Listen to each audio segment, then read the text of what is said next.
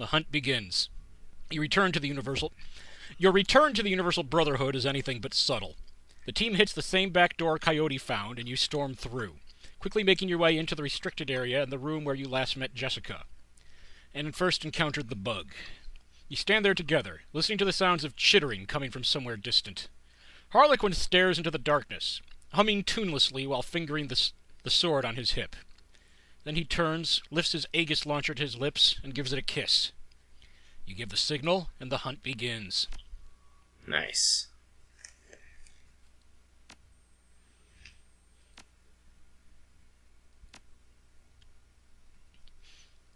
Okay.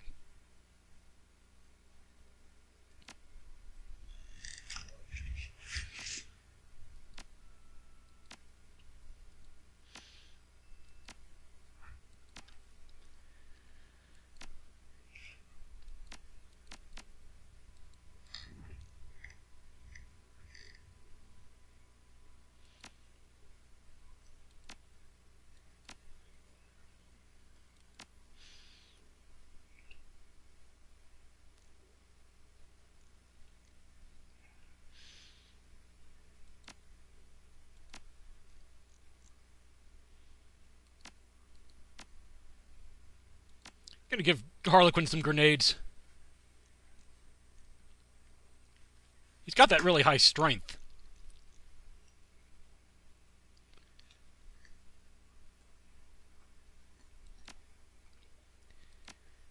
Yeah. So what's did I miss something? What's the Aeg- Aegis launcher?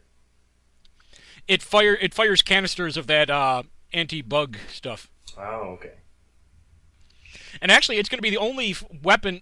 I just bought that new Colt, and I'm not going to get to use it because that slot's going to be taken up by by an Aegis launcher.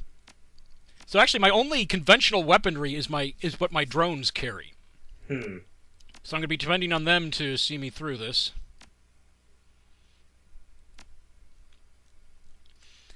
And bring the DocWagon trauma kit. Expert drone repair. Expert drone repair. Premium med kit.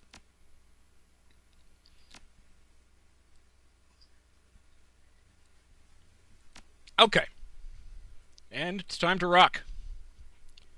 And time permitting roll.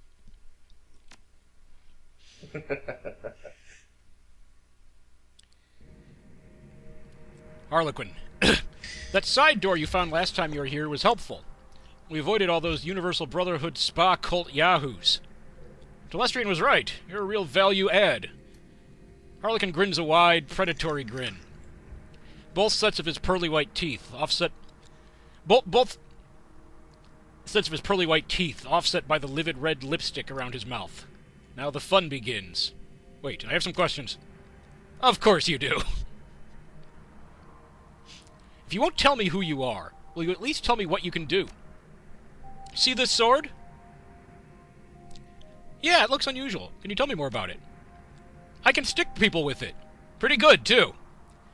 I also have those one of those Telestrofuir magical bug array eradicating launchers like the rest of you. That's it?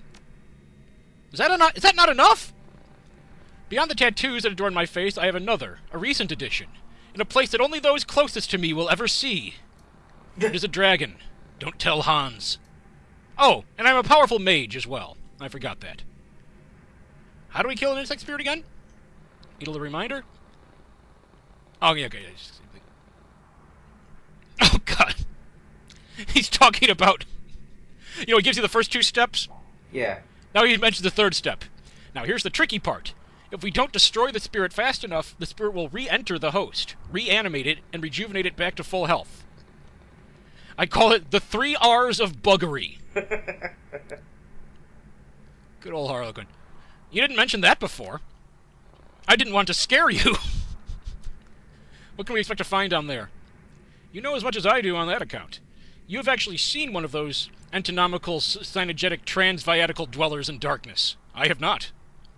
However, based on your recent reconnaissance, I would expect to find deranged cultists, deranged priests, a deranged shaman, and a shit ton of giant bugs. I'm ready. All right. Object. New objective. Stop the ceremony.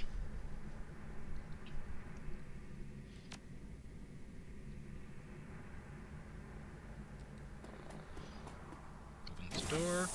Oh, there's some people in here. Brotherhood Gunner. This place is rather ominous looking. There's some skulls, some burning skulls. I'm assuming the clothes this guy is that ma- wearing are actually also somehow fashioned from skulls. Anything can be clothes if you wear enough of them. Pretty much. That's what I tell the police anyway. Okay. Alright, Coyote. Ooh, there's.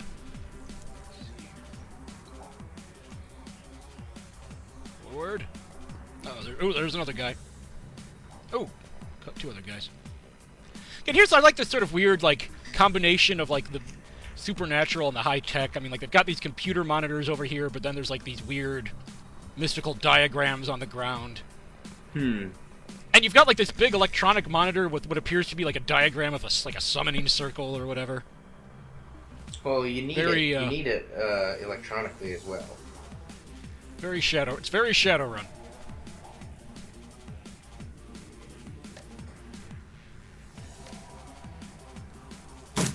Oh yeah. Oh. Ooh, piling up the damage there. Advance.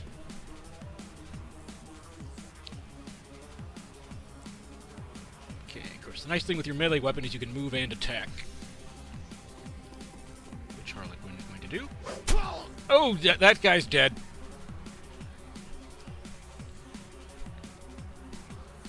Okay, let's see what sword skills he's got here. Slash, thrust,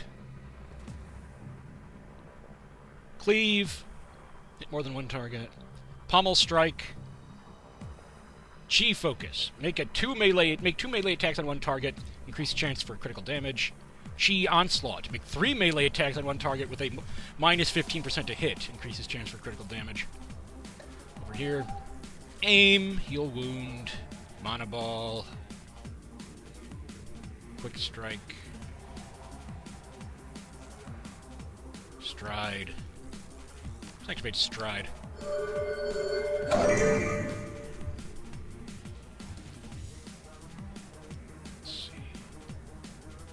Bit of longer range. Let's use the revolver.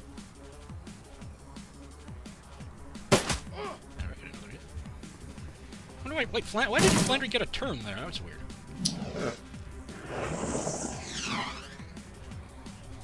Ah, okay, well now he's okay. Advance.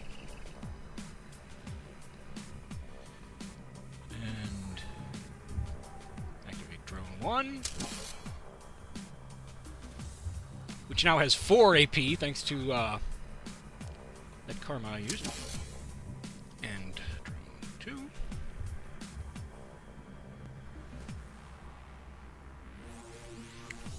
Nice thing about the aerial drones, they have some pretty impressive mo- movement range. And they can still go the places the regular drones can, right? Yeah, yeah, they have all the same. Yeah, they have the same abilities. All right, Harlequin. Have him cast aim on himself. Make his sword rampage more effective. Ninety-five percent, yes. Is that red clap flying around? Oh, oh, I think that's maybe that's just a. Ninety-nine percent. He's also got this little ability, um, quick strike. It actually a quick attack has it costs zero a actually costs zero action points. Hmm. Smack him upside the head. And another victim falls to Harlequin's blade.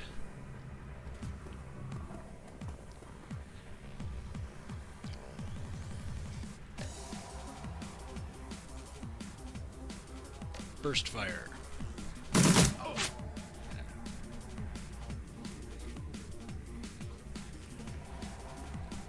Advance.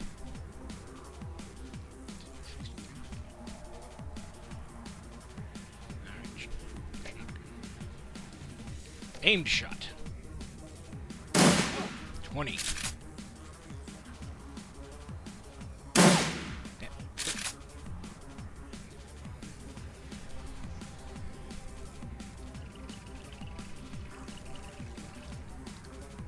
Ninety percent. There's that's into him.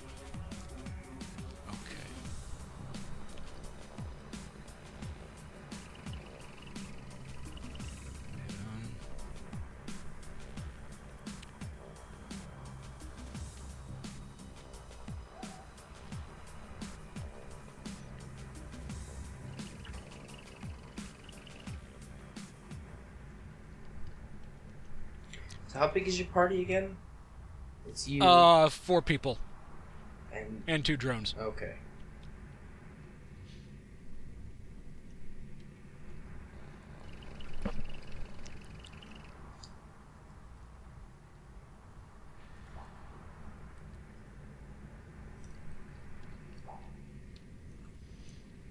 Okay. And okay. Now you may recall this from when we first made our assault on the Brotherhood. Here's the cage where uh, Lin- where uh, Marie Telestrian was kept. Here's where we, you know, made our escape, and here is where the bugs were coming out of. Deep in the depths of the Brotherhood. And that is where we must now descend.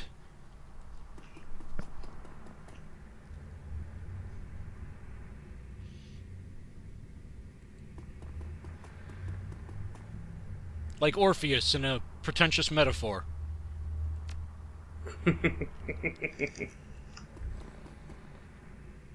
Okay. Down we go. Dark into the darkness. Into Darkness Yes. with Benedict Cumberbatch. Okay, let's see what we can see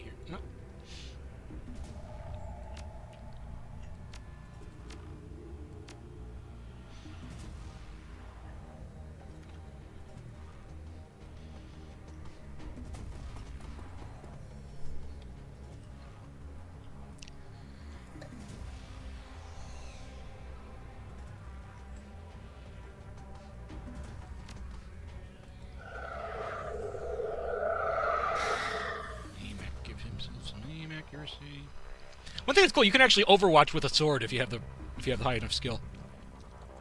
Huh. If anyone comes into that arc, you'll just ch- you'll, you'll just chop them. That's pretty cool. Is that useful though, or would you have to find a choke point? Oh well, that is usually the best way. I mean, that is the most effective thing usually. Is like if you can like if like you like if you lie in wait like beside a door or whatever, and whack a guy as he comes through. That's that's the, that's how I've had luck with it. Very satisfying when you pull it off, though. Is it repeated Overwatch, or is it just the one swing? It's just one swing. I see. Now you notice Flandry, actually he had to, since he, he he went through that hole a turn later than the others upstairs, so he had to wait a turn down here, Oh. As did his drones.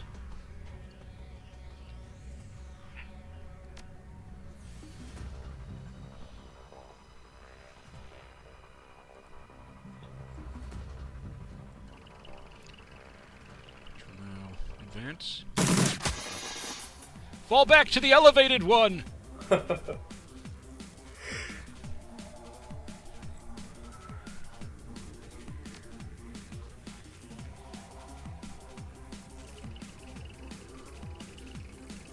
boys.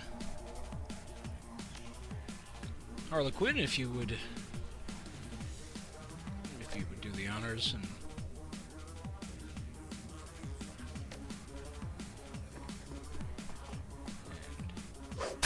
One. Oh, critical, 32 damage. And two. That's the end of him.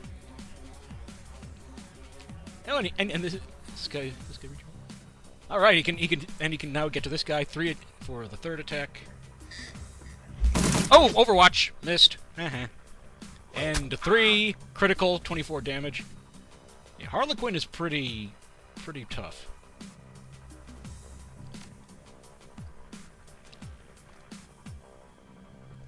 Launch a mortar. Missed.